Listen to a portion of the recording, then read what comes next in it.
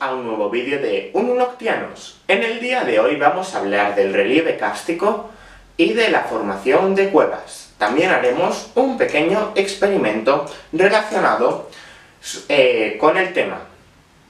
Bien, seguramente el 90% de la gente que esté viendo este vídeo haya estado alguna vez en alguna cueva.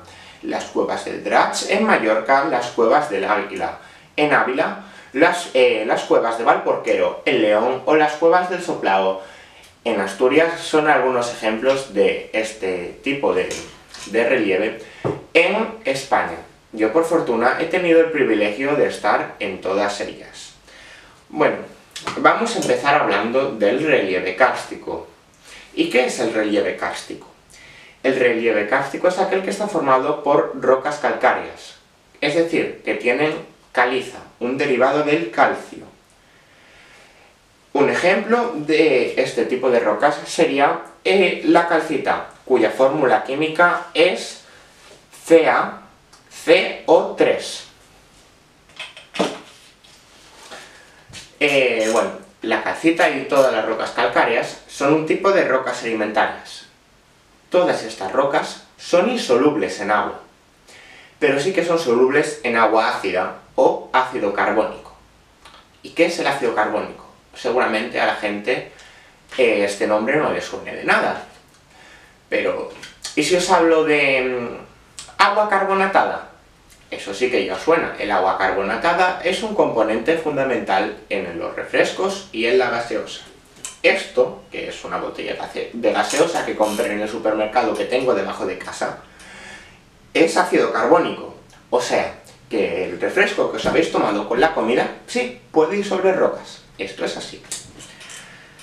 Eh, bueno, ¿cómo se forma el ácido carbónico o el agua carbonatada? Pues se forma mediante la siguiente reacción química. Agua normal y corriente, mezclada con dióxido de carbono, o CO2, da lugar al ácido carbónico cuya fórmula química es H2CO3. Bueno, ¿Y qué ocurriría si aplicamos esa reacción química a una roca calcárea? Como, pues, la calcita. El ácido carbónico, H2CO3, más la calcita, CaCO3, daría lugar a bicarbonato de calcio, cuya fórmula química es CaCO3H2. Eh, Ahora hablaré un poco sobre la formación de cuevas. El agua ácida, agua carbonatada, eh, o ácido carbónico del que hablamos anteriormente, da igual como lo llamemos, penetraría en el interior de las montañas. Eh, y este formaría eh, pues, salas, galerías y túneles, que en su conjunto formarían cuevas. Pero eso no es todo. Como ya hablamos anteriormente, la calcita y en general todas las rocas calcáreas son insolubles en agua.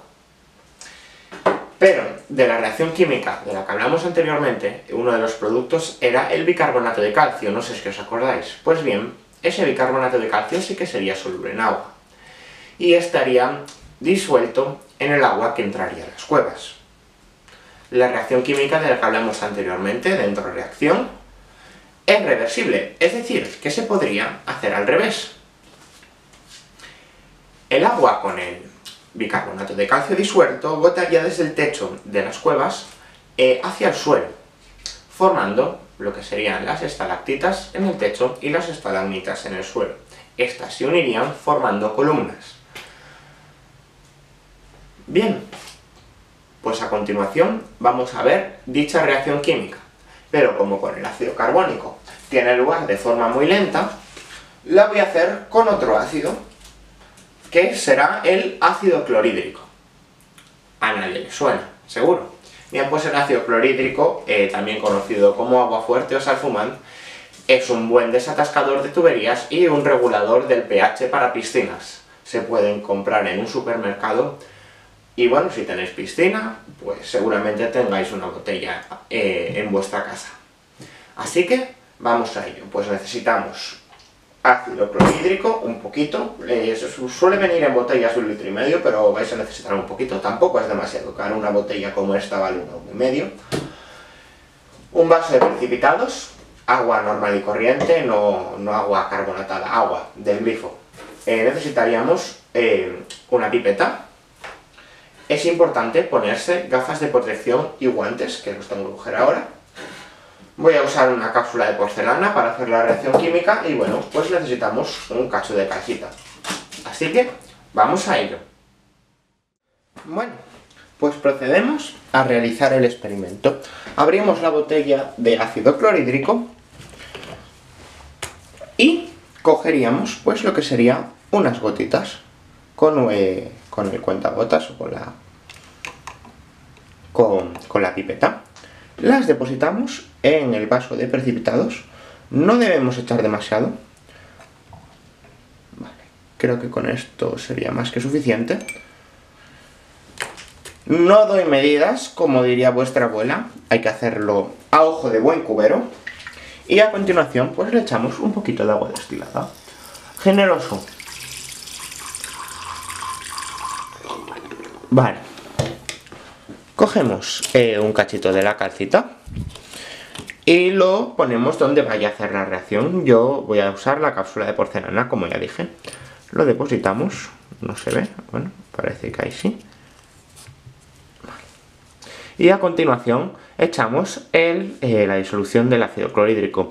El ácido clorhídrico comercial está a una concentración del 25%, el resto sería agua, pero o sea, lo que hemos hecho básicamente es reducir la concentración. ¿A qué porcentaje? Pues no os lo puedo decir.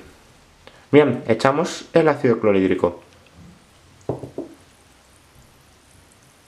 Como vemos, voy a quitar un poco de, podemos escuchar y observar unas burbujas. Qué bueno, que sería que la, el, calcita o el carbonato cálcico se está transformando en eh, bicarbonato de calcio, que sí que sería soluble en agua.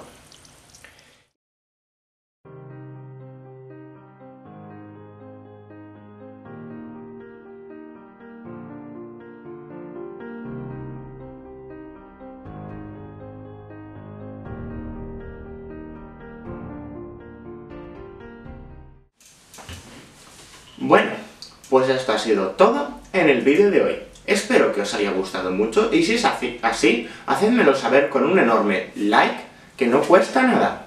Así que nos vemos en el siguiente vídeo. Hasta la próxima. ¡Adiós!